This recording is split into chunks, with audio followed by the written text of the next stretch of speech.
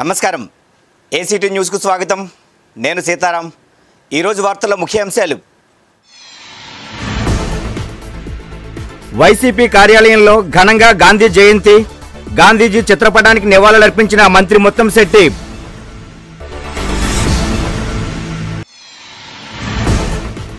BJP కార్యాలయం ప్రాంగణంలో ఖాదీ సంతా. చేనేత కళాకారులను ప్రోత్సహించాలని ఎమ్మెల్సీ మాధవ్ విజ్ఞప్తి.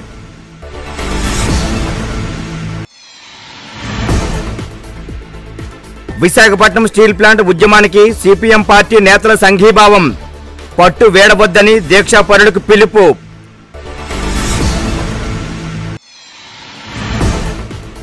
పెందుర్తి ఎండిఓ కార్యాలయంలో గాంధీ జయంతి. గాంధీ విగ్రహం వద్ద నివాళులర్పించిన ఎమ్మెల్యే అన్నంరెడ్డి అదీప్ రాజు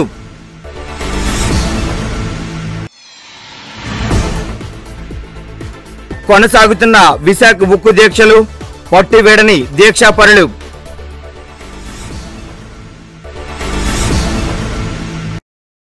ఇక వార్తల్లోని వివరాలకు వెళ్దాం రవి అస్తమించని బ్రిటిష్ సామ్రాజ్యాన్ని సత్యాగ్రహం అహింస సహాయ నిరాకరణ ఆయుధాలుగా గడగడలాడించి అఖండ భారతావనికి స్వాతంత్రాన్ని తీసుకొచ్చిన గొప్ప పోరాట యోధుడు మహాత్మా గాంధీ అని రాష్ట్ర మంత్రి ముత్తంశెట్టి శ్రీనివాసరావు పేర్కొన్నారు. మద్రపాలెంలోని వైసీపీ కార్యాలయంలో జరిగిన మహాత్మా గాంధీ నూట యాభై రెండు జయంతి వేడుకల్లో ఆయన ముఖ్య అతిథిగా పాల్గొన్నారు. గాంధీజీ చిత్రపటానికి పూలమాలలు వేసి ఘనంగా నివాళులర్పించారు. అనంతరం ఆయన మాట్లాడుతూ ఇరవయో శతాబ్ద రాజకీయ నాయకుల్లో మానవాళిని ప్రభావితం చేసిన ప్రతిభావంతుడు గాంధీజీ అని గుర్తు చేశారు. నేటి పోరాటాలకు గాంధీజీ సిద్ధాంతాలను స్ఫూర్తిగా తీసుకోవాల్సిన ఆవశ్యకత ఎంతైనా ఉందన్నారు. ముఖ్యమంత్రి జగన్మోహన్ రెడ్డి గాంధీజీ కలలగన్న గ్రామ స్వరాజ్య సాకారానికి కృషి చేస్తున్నారని కొనియాడారు. ఈ కార్యక్రమంలో అరకు పార్లమెంటు సభ్యురాలు జి మాధవి ఎమ్మెల్యే తిప్పల నాగిరెడ్డి మాజీ ఎమ్మెల్యేలు తైనాల విజయ్ కుమార్ చింతలపూడి వెంకటరామయ్య తదితరులు పాల్గొన్నారు. చాలా కులాలు మతాలు ప్రాంతాలు ఉన్నాయి. ఇన్ని ప్రాంతాలు ఇన్ని కులాలు ఇరవై ఎనిమిది రాష్ట్రాలు పది యూనిట్ టెరిటరీలని మనందరం కూడా భారతీయులు అని కల్పించేది ఒకటే అది జాతీయ జెండా. భారతదేశంలో ఇన్ని రాజకీయ పార్టీలు ఇన్ని రాజకీయ భావజాలాలు ఎన్నున్నా కూడా మరి ఆనాడు మనకి స్వతంత్రం రాకముందు మన భారతదేశ జనాభా ముప్పై కోట్లు ఉండేది. అప్పుడు ముప్పై కోట్ల మందిని ఏకతాటి మీదుగా నడిపించిన ఒకే ఒక వ్యక్తి జాతిపిత పూజ్య మహాత్మా గాంధీ. మరి అప్పుడు కూడా ఎట్లా ఉన్నాయో చాలా రకరకాల అభిప్రాయాలు అభిప్రాయ భేదాలు స్వతంత్ర పోరాటం ఉంది. మరి హింస ద్వారానే స్వతంత్రం వస్తుందని కొంతమంది పుట్టడం ద్వారానే స్వతంత్రం వస్తుందని కొంతమంది యుద్ధం ద్వారానే స్వతంత్రం వస్తుంది ఇలా రకరకాలుగా మన నాయకులు అంటే వారి యొక్క అభిప్రాయాలు వేరైనా వారందరి లక్ష్యం ఒకటే స్వతంత్రం సా సాధించాలని అది ఎప్పుడు మహాత్మా గాంధీ గారు రాకముందు. మరి ఈయన వచ్చిన తర్వాత అతివాదులు కానీ మితవాదులు కానీ మిశ్రమవాదులు కానీ అందరినీ కూడా ఒక తాటి మీద తీసుకొచ్చి ముఖ్యంగా యానా ఆనాటి యావత్ జాతిని ముప్పై కోట్ల మంది భారతీయులను కూడా చైతన్యపరిచి ఆయన ఏ కార్యక్రమం తలపెట్టినా కూడా ఒక ఉప్పు సత్యాగ్రహం కావచ్చు లేకపోతే క్విట్ ఇండియా కావచ్చు. మరి ఏది చేసినా కూడా మొత్తం జాతి జాతి కదిలి వచ్చేటట్టు చైతన్యపరిచిన నాయకుడు. ఆయన ఈ శతాబ్దానికే కాదు భారతదేశ చరిత్ర కాదు ప్రపంచ చరిత్ర ఉన్నంతకాలం ప్రపంచ చరిత్రలో శాశ్వతంగా నిలిచిపోయే వ్యక్తి పూజ్య మహాత్మా గాంధీ. మన గౌరవ ముఖ్యమంత్రి గారు ఈ మహాత్మా గాంధీ గారి జయంతిని పురస్కరించుకుని ఈ రోజున విజయవాడలో ఈ స్వచ్ఛ సర్వేక్షణలో భాగంగా మరి సుమారు పదిహేను వేల పైగా వెహికల్స్ని ఆయన రిలీజ్ చేస్తున్నారు. ఇప్పుడు దాకా ఈ తడి చెత్త పొడి చెత్త వేరువేరుగా కలెక్ట్ చేసి టిన్స్లో ప్రైవేట్ వెహికల్స్లో తరలించడం జరుగుతుంది. అలాంటిది రోజున ప్రభుత్వమే వెహికల్స్ని ప్రొవైడ్ చేసి ఆ వెహికల్స్ ద్వారా మరి మహాత్మా గాంధీ గారు చెప్పింది అది కూడా ఉంది. పరిసరాలు పరిశుభ్రంగా ఉంటాయో అక్కడ దేవతలు ఉంటారు. కాబట్టి ఈ స్వచ్ఛ సర్వేక్షణ కూడా బ్రాండ్ అంబాసిడర్ ఆయనే మహాత్మా గాంధీ గారు. కాబట్టి ఇక్కడ వార్డు కార్పొరేటర్లు చాలామంది ఉన్నారు. మన నాయకులు వార్డు ప్రెసిడెంట్స్ ఉన్నారు. మహిళా తల్లులు ఉన్నారు. మీ అందరికీ నా విజ్ఞప్తి ఏంటంటే మన గౌరవ ముఖ్యమంత్రి గారి ఆదేశాల ప్రకారం మన వార్డుల్లో మరి ఎక్కడెక్కడైతే ఈ రోజున ఈ స్లమ్స్ ఉన్నాయో అక్కడ మహాత్మా గాంధీ గారి జయంతి సందర్భంగా మీరు స్ఫూర్తిగా తీసుకుని ఈ స్వచ్ఛ సర్వేక్షణ కార్యక్రమాలని చేపట్టాలని మీ అందరూ కూడా నేను విజ్ఞప్తి చేస్తూ మరి ఇక్కడి నుంచి మనందరం కూడా నెక్స్ట్ మన జీవీఎంసీ ఎదుర్కొంటున్నటువంటి మహాత్మా గాంధీ గారి విగ్రహానికి అక్కడ నివాళులు మరి అర్పించడానికి అందరూ కూడా రావాల్సిందిగా విజ్ఞప్తి చేస్తూ.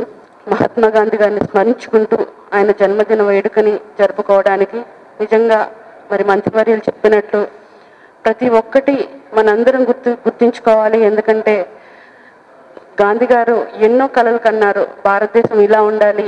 చాలా భారతదేశం అనేది పలువురు ప్రశంసించే విధంగా తయారవ్వాలనే ఉద్దేశంతో అనేక మందిని ఐక్యం చేసి ఆ రోజు మరి కష్టం వచ్చినప్పుడు ఎలా కలిసి ఉండాలని మరి ప్రతి ఒక్కరిని అందరినీ ఏకం చేసి స్వాతంత్రాన్ని సాధించారు. మరి అలాగే మరి మన ముఖ్యమంత్రి వైఎస్ జగన్మోహన్ రెడ్డి గారు కూడా గాంధీజీ గారు కలలు కన్నట్టు మన ప్రతి చిన్న చిన్న గ్రామం కూడా అభివృద్ధి చెందితేనే దేశం బాగుంటుందన్న గొప్ప సంకల్పంతో ఈరోజు గ్రామ సచివాలయాలు ఏర్పాటు చేసి మరి ప్రతి ఒక్క గ్రామంలో ఏ చిన్న అవసరానికి కూడా ఎక్కడికి వెళ్ళకుండా మరి గ్రామంలో సమస్యలు పరిష్కరించే దిశగా ఈరోజు గ్రామ సచివాలయాలు ఏర్పాటు చేశారు. అలాగే మరి గాంధీ గారి స్ఫూర్తితోనే ఈరోజు వైఎస్ జగన్మోహన్ రెడ్డి గారు క్లాప్ క్లీన్ ఆంధ్రప్రదేశ్ అనే అనే అంశ పథకాన్ని ఈరోజు విజయవాడలో ప్రారంభించారు. మొత్తం రెండు వేల ఆరు వందల తోపుడు బండిని పారిశుద్ధ కార్మికులకు ఇచ్చి మరి ప్రతి ఒక్క గ్రామాన్ని ప్రతి ఒక్క ప్రాంతాన్ని క్లీన్గా ఉంచుకోవాలని తెలియజేశారు. మనందరం ఒకటే గుర్తుపెట్టుకోవాలి. ఈరోజు మనందరికీ మనందరం ఆరోగ్యంగా ఉండాలంటే తప్పకుండా మన సరౌండింగ్స్ అన్నీ కూడా చాలా క్లీన్గా ఉంచుకోవాలి. ఆ ఉద్దేశంతోనే మరి స్వచ్ఛాంధ్రప్రదేశ్ కానీ అలాగే మన స్వచ్ఛ భారత్ కానీ ప్రతి ఒక్కటి కూడా ఆ ఉద్దేశంతోనే మరి ప్రవేశపెట్టారు.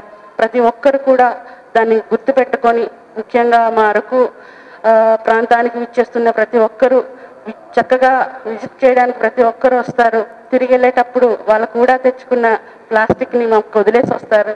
దయచేసి ప్రతి ఒక్క ప్రాంతాన్ని అందంగా చక్కగా క్లీన్గా ఉంచుకునే బాధ్యత ప్రతి ఒక్కరిది కాబట్టి దీన్ని గుర్తుపెట్టుకొని అందరూ పరిశుభ్రంగా మహాత్మా గాంధీ జయంతి సందర్భంగా నగర భారతీయ జనతా పార్టీ కార్యాలయంలో ఖాదీ సంత నిర్వహించారు. ఎమ్మెల్సీ పివిఎన్ మాధవ్ ఈ సంతను ప్రారంభించారు. స్వయంగా చరకాలతో నూలు వడికారు.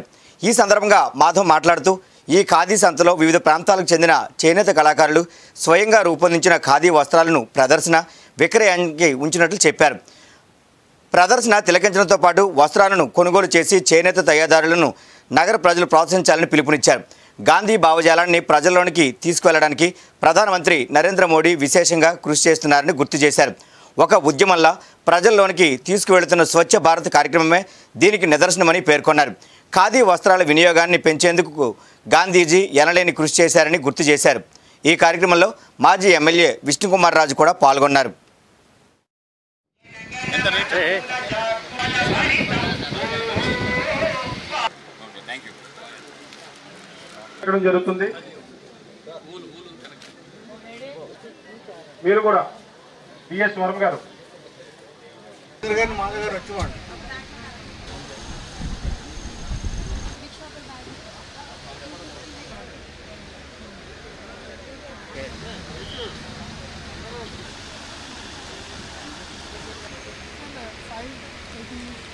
తర్వాత రెడ్ కారు వెళ్తుంది నెక్స్ట్ యూ టర్న్ చేసుకోవడానికి వెనకాల బ్యాక్ సైడ్ రోడ్డు ఉంది.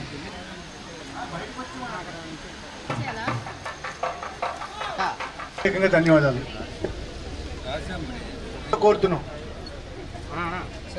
పిలవడం జరుగుతుంది. రెండు నిమిషాలు. మహాత్మా గాంధీ గారి జయంతి అలాగే లాల్ బహదూర్ శాస్త్రి గారి జయంతి సందర్భంగా అలాగే నరేంద్ర మోడీ గారు ఇరవై వసంతాల పరిపాలన పూర్తి చేసుకున్న సందర్భంగా ఈరోజు ఖాదీ సంత పెట్టడం జరిగింది. ఈ మహానుభావులందరూ కూడా ఈ దేశంలో ప్రతి చేతికి పని కల్పించాలని ప్రతి చేనికి నీరు కావాలని చెప్పి వాళ్ళ జీవిత పర్యంతం కూడా కృషి చేయడం జరిగింది. ముఖ్యంగా మహాత్మా గాంధీ గారు స్వతంత్ర ఉద్యమంలో అగ్రేసరుగా ఉండి స్వతంత్రం సిద్ధించడంలో ముఖ్య పాత్ర పోషించడం జరిగింది. అయితే ఆయన స్వతంత్ర పోరాటం ఆయన జీవితంలో చాలా చిన్న భాగమే.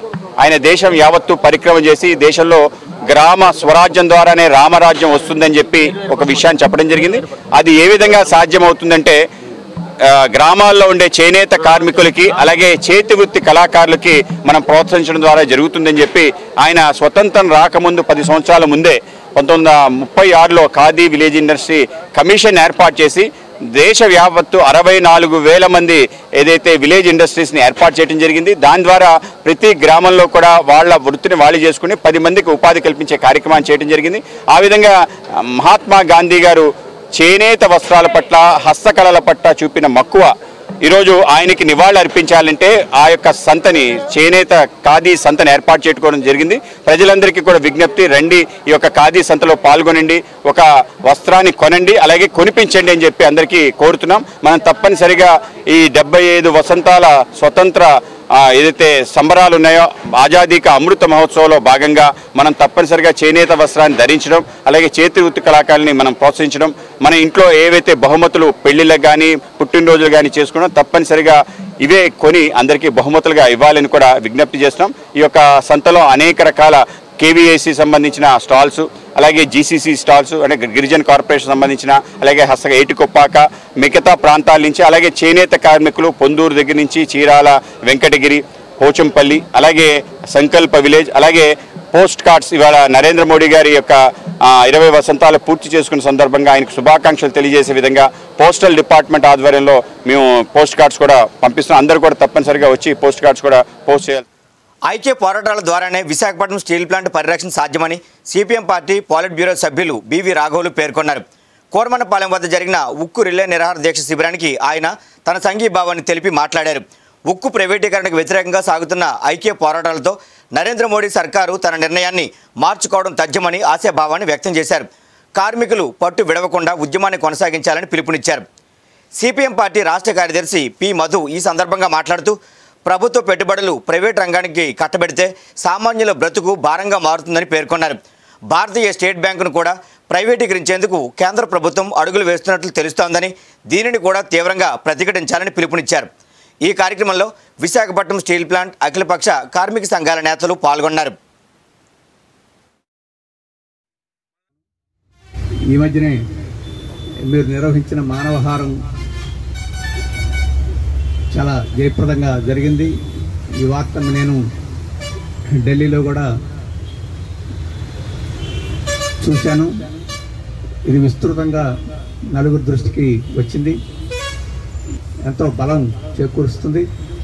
ఈరోజు దేశవ్యాప్తంగా కూడా ఈ ప్రైవేటీకరణ వ్యతిరేక పోరాటాలు క్రమేణా పుంజుకుంటున్నాయి.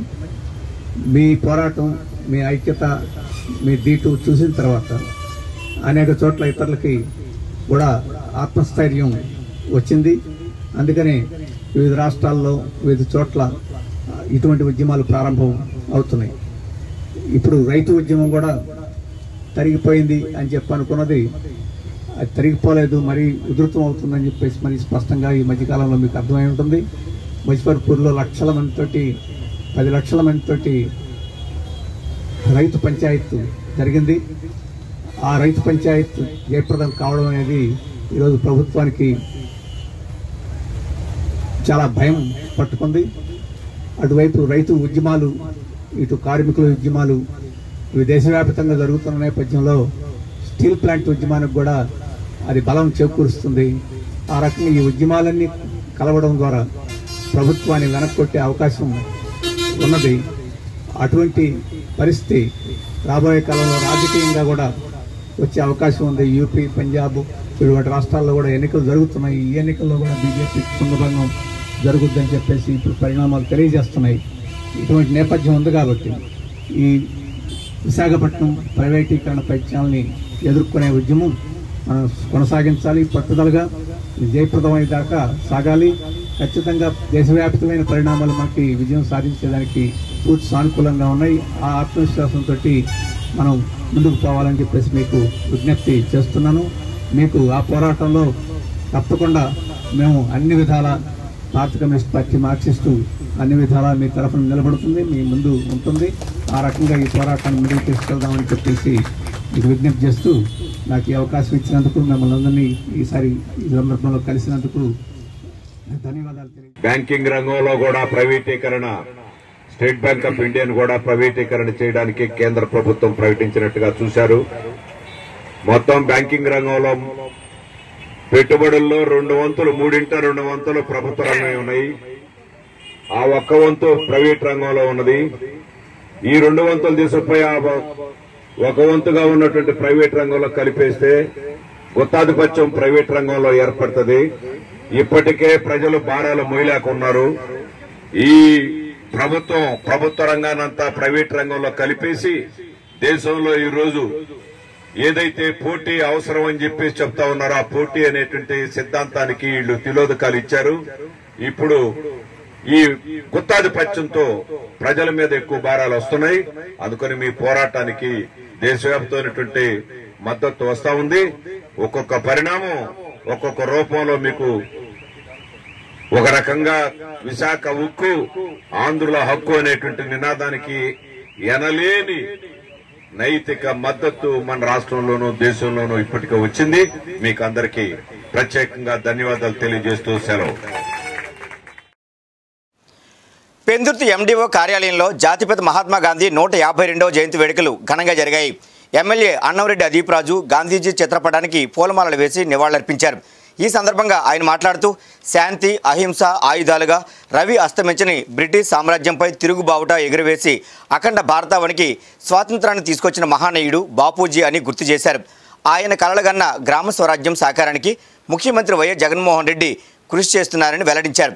గ్రామ సచివాలయాలు ఏర్పాటు చేసి గ్రామ పరిపాలనలో జగన్ సర్కార్ దేశానికే ఆదర్శవంతంగా నిలిచిందన్నారు. ప్రజలకు ప్రభుత్వ పథకాలు నేరుగా గ్రామ సచివాలయాలు వార్డు వాలంటీర్ల ద్వారా ప్రతి ఒక్కరికి అందుతున్నాయని అన్నారు. ఈ కార్యక్రమంలో ఎంపీడీఓ మంజులవాణి జడ్పీటీసీ ఉప్పిలి దేవి కనకరాజు తదితరులు పాల్గొన్నారు. భారతదేశపు ఆరాధ్య దైవం చెప్పుకోవాలి. మహాత్మా గాంధీ గారి జయంతి సందర్భంగా హిందుతి ఎండిఓ ఆఫీస్లో వాళ్ళు పెద్ద ఎత్తున ప్రజా ప్రజాప్రతినిధులు పార్టీ నాయకులు పెద్దలు అందరూ కూడా వచ్చేసి మహాత్మా గాంధీ గారికి నివాళులు అర్పించడం జరిగింది. నిజంగా ఆయన ఏదైతే కళలు కన్నారో గ్రామ స్వరాజ్యం స్థాపించాలి. గ్రామాలు బాగుంటే రాష్ట్రం బాగుంటుంది దేశం బాగుంటుంది అని చెప్పి ఈరోజు బాపూజీ గారు చెప్పేవారు.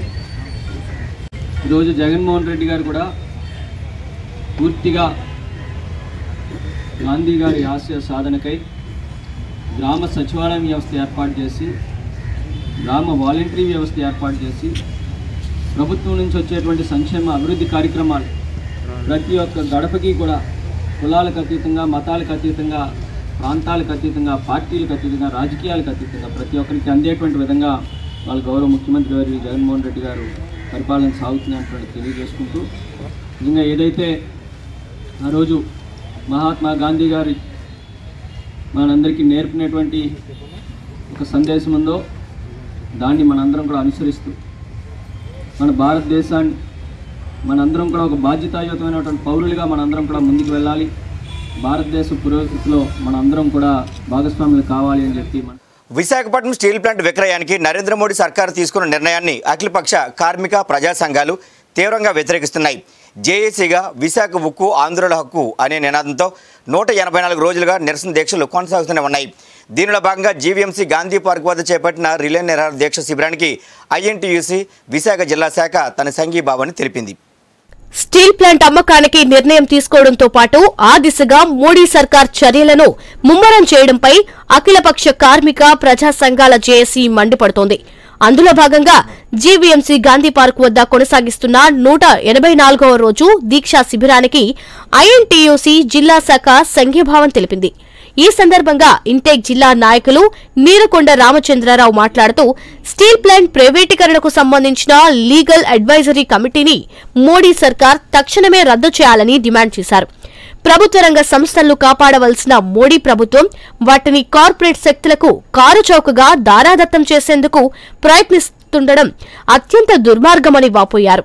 విశాఖ ఉక్కు ఆంధ్రుల హక్కు నినాదంతో జీవీఎంసీ గాంధీ పార్క్ వద్ద అఖిలపక్ష కార్మిక ప్రజా సంఘాల జేఏసీ ఆధ్వర్యంలో కొనసాగుతున్న నూట ఎనభై నాలుగవ రోజు దీక్షా శిబిరానికి ఆయన సంఘీభావం తెలిపి మాట్లాడారు. అసలు ప్రభుత్వ రంగ సంస్థలను ప్రైవేటు పరం చేసే హక్కు మోడీ ప్రభుత్వానికి ఎవరిచ్చారని ప్రశ్నించారు. వాటిని బలోపేతం చేయవలసిన కేంద్ర ప్రభుత్వం తెగ నమ్మేందుకు ఉబలాట పడటం అత్యంత హేయమైన చర్యగా పేర్కొన్నారు. వేలాది మందికి ఉపాధి చూపిస్తున్న ఎందరో ప్రాణత్యాగాల ఫలితంగా సాధించుకున్న విశాఖ ఉక్కును ప్రైవేటీపరం చేస్తామంటే సహించేది లేదని హెచ్చరించారు. విశాఖపట్నం స్టీల్ ప్లాంట్ని అమ్మాలని చెప్పి మోడీ ప్రభుత్వం దుర్మార్గంగా ఆలోచించి గత జనవరి ఈ నెల సంవత్సరం జనవరిలో ఒక క్యాబినెట్ నిర్ణయం తీసుకుంది. అప్పటి నుంచి కూడా మరి యొక్క స్టీల్ ప్లాంట్ కార్మికులు కానీ కార్మిక సంఘాలు కానీ జిల్లాలో అన్ని కార్మిక సంఘాలు కూడా ఈ యొక్క ఉద్యమం పోర చేసి విశాఖపట్నం స్టీల్ ప్లాంట్ ప్రభుత్వ రంగంలో కొనసాగాలని చెప్పి ఉద్యమం చేస్తున్నాం. అదే ఉద్యమం మరి స్టీల్ ప్లాంట్లో రెండు వందల ముప్పై మూడు రోజులు గడిచింది. అదే ఇక్కడ విశాఖ నడుబొడ్డున గాంధీ విగ్రహం పక్కన ఈరోజు గాంధీ మహాత్మా గాంధీ గారి జయంతి సందర్భంగా కూడా ఈరోజు నూట ఎనభై నాలుగు రోజు దీక్ష శిబిరం కొనసాగుతుంది. ఎంత త్యాగానికైనా ఈ స్టీల్ ప్లాంట్ మేము చేసి ఈ స్టీల్ ప్లాంట్ కాపాడుకుంటాం. ఇది ప్రజల ఆస్తి ప్రజల ఆస్తి అమ్మే హక్కు మోడీ గవర్నమెంట్కి ఎవరిచ్చారని చెప్తున్నాను. ఇక స్టీల్ ప్లాంటే కాదు దేశంలో కూడా అన్ని ప్రభుత్వ సంస్థలు అమ్మేస్తానంటున్నారు ఎయిర్పోర్ట్లు అమ్మేస్తారంట అలాగే పోర్ట్లు అమ్మేస్తారంట రైల్వేని అమ్మేస్తారంట బ్యాంకులు అమ్మేస్తారంట పవర్ ప్లాంట్లు అమ్మేస్తారంట ఎల్ఐసీలు అమ్మేస్తారంట. అసలు నువ్వు ఎప్పుడైనా ఒక్క ప్లాంట్ పెట్టావని అడుగుతున్నావు మోడీ గారిని? మేము మొత్తం దేశంలోనే దేశ సంపదని మరి గత డెబ్బై సంవత్సరాల నుంచి కూడా మరి ఎంతో కూడబడితే ఎంతో అభి- అభివృద్ధి చేస్తే ఇవన్నీ కూడా ఒక దేశంలో ఉన్న ఇద్దరు ముగ్గురికి నీ అనుయులకి గుజరాతీలకి ఈ మొత్తం దేశాన్ని తాకట్టు పెట్టాలని ప్రయత్నం చేస్తున్నాం అమ్మలేని ప్రయత్నం చేస్తున్నాం. రెండు వేల ఇరవై నాలుగు మీరు గద్దె దిగే వరకు కూడా అన్ని కార్మిక సంఘాలు అన్ని రాజకీయ పార్టీలు కలుపుకొని పోరాటం చేస్తాం. విశాఖను కాపాడుకుంటాం. అది ప్రజల సొత్తు ఇది. సుమారు వేలాది మంది నిర్వాసితులు ఇప్పటికి కూడా ఉపాధి గురించి అవకాశం ఎదురు చూస్తున్న తరుణంలో విశాఖపట్నం స్టీల్ ప్లాంట్ని నూటి నూరు శాతం అమ్మడం అనేది చాలా దుర్మార్గం ఇది. ఎట్టి పరిస్థితులు ఎవరిని కూడా ఇక్కడ రానివ్వం ఎవరైనా ఆన్లైన్లో బిడ్డింగ్ పాల్గొన్నా ఎవరైనా టెండర్కి వెళ్ళినా ఇక్కడ విశాఖపట్నం స్టీల్ ప్లాంట్లో అడుగు పెట్టలేము విశాఖపట్నం ఎయిర్పోర్ట్లో అడుగుపెట్టడం మీ హెచ్చరిస్తూ మీ ఇప్పుడైనా సరే ప్రభుత్వ నిర్ణయం మార్చుకొని విశాఖపట్నం స్టీల్ ప్లాంట్ని ప్రభుత్వ రంగంలో కొనసాగించాలని చెప్పి మేము డిమాండ్ చేస్తున్నాం. మహాత్మా గాంధీ జయంతి సందర్భంగా జీవీఎంసీ ఎనభై తొమ్మిదో వార్డు వైసీపీ అధ్యక్షుడు దొడ్డి కిరణ్ గులాబ్ తుఫాను బాధితులకు నిత్యావసర సరుకులు పంపిణీ చేశారు. ఈ సందర్భంగా దొడ్డి కిరణ్ మాట్లాడుతూ వైసీపీ ప్రభుత్వం గులాబీ తుఫాను బాధితులకు అండగా ఉంటుందని భరోసా ఇచ్చారు. సేవా కార్యక్రమాల ద్వారా నిత్యం ప్రజల్లోనే ఉంటారని చెప్పారు. ఈ కార్యక్రమంలో పలువురు వైకాపా నాయకులు స్థానికులు పాల్గొన్నారు.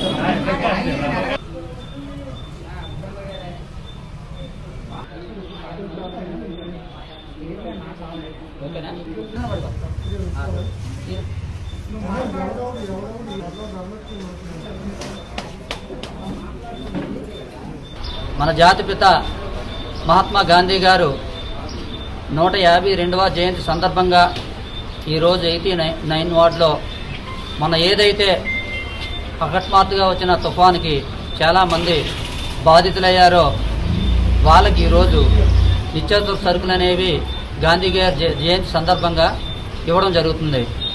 మనందరం ఇంత శాంతియుతంగా ప్రజాస్వామ్యబద్ధంగా మనం పరిపాలన చేస్తున్నామంటే దానికి కారణం ఎందరో అమరవీరులు అవిశ్రాంతిగా శాంతియుతంగా చేసిన పోరాట ఫలితమే ఈరోజు మన స్వతంత్ర దినోత్సవాన్ని అనుభవిస్తున్నాం.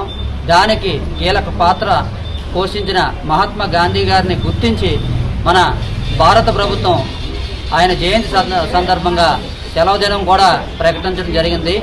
అందులో భాగంగా నూట యాభై రెండు సంవత్సరాలు అయినప్పటికీ కూడా ఆయన్ని ఈ రోజు మనం గుర్తు తెచ్చుకున్నామంటే దానికి కారణం ఆయన భారతదేశానికి చేసిన సేవలే అని చెప్పేసి ఈ సందర్భంగా తెలియజేసుకుంటూ అటువంటి మంచి జాతిపిత అడుగుజాడల్లో ప్రతి ఒక్కరూ ఆయన ఆదర్శంగా తీసుకొని మనందరం నడవాలని చెప్పేసి ఇలాంటి మంచి కార్యక్రమాలు నాతోటి అందరూ కూడా సహకరించి చేయాలని చెప్పని ఈ సందర్భం కొండపొలం చిత్రం యూనిట్ నగరంలో సందడి చేసింది. వైష్ణవ్ తేజ్ రఘుల్ప్రీత్ సింగ్ జంటగా క్రిష్ తెరకెక్కించిన ఈ చిత్రం ఈ నెల ఎనిమిదో తేదీన విడుదల కానుంది. ఈ నేపథ్యంలో నగరంలో సందడి చేసిన చిత్రం యూనిట్ ఓ హోటల్లో మీడియాకు చిత్రం విశేషాలను వెల్లడించింది. కొండాపురం నవల ఆధారంగా ఈ చిత్రాన్ని నిర్మించినట్లు హీరో వైష్ణవ్ తేజ్ చెప్పారు.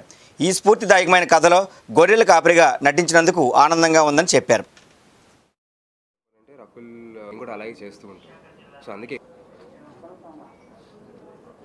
నమస్కారం అండి. అందరు వచ్చినందుకు thank you Kondapolam October eighth nearest థియేటర్స్లో రిలీజ్ అవబోతుంది. దయచేసి మీరు అందరూ థియేటర్స్లోనే మాస్క్ వేసుకొని చూడండి. కరువు వచ్చిన ప్రాంతంలో గొర్రెలు కరువు ప్రాంతంలో గొర్రెల్ని ఓకే. ఓకే కొండపొలం అంటే బేసిక్గా కరువు ప్రాంతంలో గొర్రెల కాపురోళ్ళు ఏం చేస్తారంటే క్యాటిల్ని అడవిలోకి తీసుకెళ్తారు అనమాట బేసిక్గా. ఆ అడవిలో ఉండి దాన్ని ఫీడ్ చేస్తూ ఆ వాటర్ కానీ లేకపోతే ఫుడ్ కానీ ఆ క్యాటిల్కి ఇస్తూ ఉండే ప్రాసెస్ని కొండపొలం అంటారు. వాళ్ళు కూడా ఆ గొర్రెల్లాగే గొర్రెలతో పాటు ఉంటారనమాట సో ఆ కష్టాలు ఎలా ఫేస్ చేస్తారు అనేది కొండపొలం అంటారు.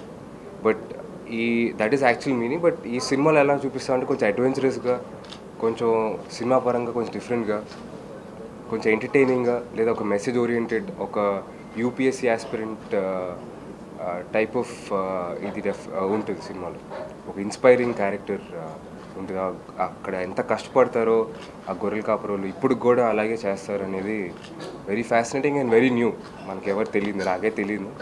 నేను అంతగా చేయలేదండి. ఎందుకంటే నేను యాక్చువల్లీ నేర్చుకుంటూనే వెళ్ళాలి సినిమాలో కూడా. సినిమాలో కూడా నేను కూడా ఒక కొత్త గొర్రెల కాపురండి నేను సిటీలో పెరుగుతాను. బట్ ఆ గొర్రెల కాపురం అనేది కొత్తగా వాళ్ళు ఎలా వాళ్ళు ఎలా చేస్తారని అక్కడక్కడ నేర్చుకోవాల్సింది. సెట్లోనే నేర్చుకోవాల్సింది. అదే ఫారెస్ట్లో నేర్చుకున్నాను. సో అందుకే ఎక్కువ బాడీ లాంగ్వేజ్ ఎక్కువ చూడలేదు. సో ఆ డైరెక్షన్ మూవీ ప్రాసెస్లోనే నేను మొత్తం నేర్చుకున్నాను ఒక ఇన్స్పైరింగ్ కథ. ఎన్నిసార్లు పడినా ఉడుగుదుడుగులు ఉన్నా ఆయన ప్రతిసారి లేచి లేచి అంటే ఆ ఫారెస్ట్లో ఫేస్ అయ్యే ట్రబుల్స్ కానీ అడ్వెంచరస్ కానీ ఎప్పుడు పడకుండా ప్రతిసారి లే లేస్తూ ఉండడం అండ్ తాలెప్పుడు పైకి ఎత్తుకొని ఉండడం అనేదే ఈ సినిమా అంతా. అండ్ లాస్ట్లో ఆయన ఒక hill come out as a winner. So ఆ మెసేజ్తో పాటు ఒక అడ్వెంచర్ దీంతో పాటు ఒక forest Visakha music dance academy Kalabharathi ఆడిటోరియంల సంయుక్త ఆధ్వర్యాన కళాభారతి ఆడిటోరియంలో ప్రదర్శించిన నాటికలు ఆహుతులను అలరించి ఆలోచింపజేశాయి. ముందుగా కళాభారతి ఆడిటోరియం అధ్యక్ష కార్యదర్శులు ఎంఎస్ఎన్ రాజు గుమ్మలూరు రాంబాబు ట్రస్టీ పైడా కృష్ణప్రసాదులు జ్యోతి ప్రజ్వలన చేసి నాటికల ప్రదర్శనలను ప్రారంభించారు. తొలుత కర్ణ ఆ తర్వాత ప్రేమ మోగది నాటికలను ప్రదర్శించారు. కళాకారులు అద్భుతంగా తమ హావభావాలను ప్రదర్శించి ప్రేక్షకుల ప్రశంసలు అందుకున్నారు. చక్కటి సందేశాన్ని అందజేస్తూ ప్రదర్శించిన ఈ నాటికలు ఆహుతుల మన్ననలు పొందాయి. ఈ సందర్భంగా కళాభారతి ఆడిటోరియం కార్యదర్శి రాంబాబు మాట్లాడుతూ Visakha music dance academy Kalabharathi ఆడిటోరియంల సంయుక్త ఆధ్వర్యాన గత నెల ఇరవై మూడు నుంచి ప్రతి నెల మొదటి శుక్రవారం నుండి ఒక నాటకం కానీ రెండు నాటికలు కానీ ప్రదర్శిస్తూ వస్తున్నామని గుర్తు చేశారు. దీనిలో భాగంగా ప్రదర్శించిన కర్ణ ప్రేమ మోగది నాటికలు అలరించాయి.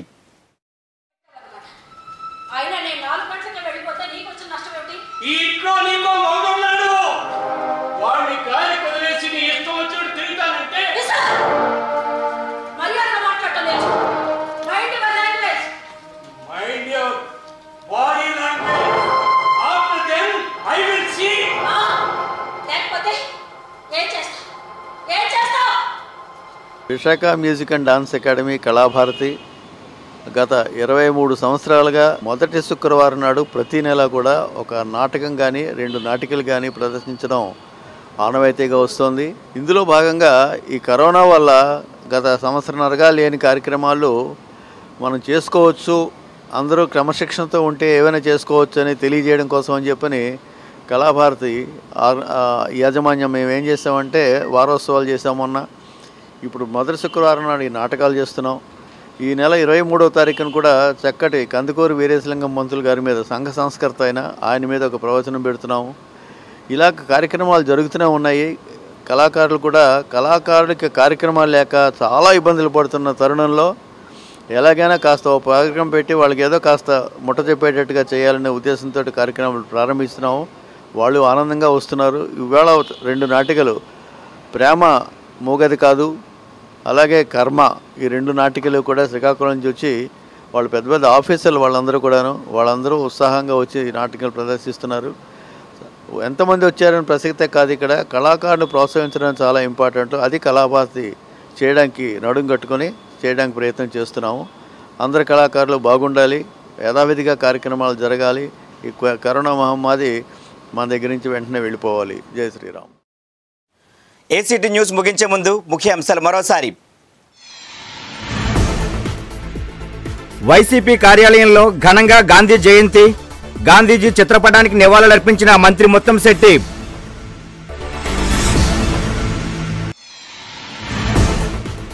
బీజేపీ కార్యాలయం ప్రాంగణంలో ఖాదీ సంతా. చేనేత కళాకారులను ప్రోత్సహించాలని ఎమ్మెల్సీ మాధవ్ విజ్ఞప్తి.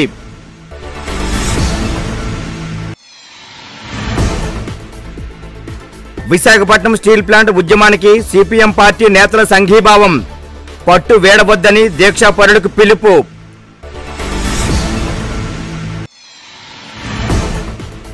పెందుర్తి ఎండీఓ కార్యాలయంలో గాంధీ జయంతి. గాంధీ విగ్రహం వద్ద నివాళులర్పించిన MLA Annamreddy Adeepraju.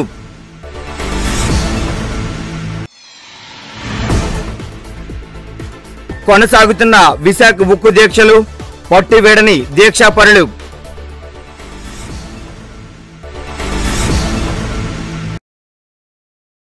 ACT news ఇంతటితో సమాప్తం నమస్కారం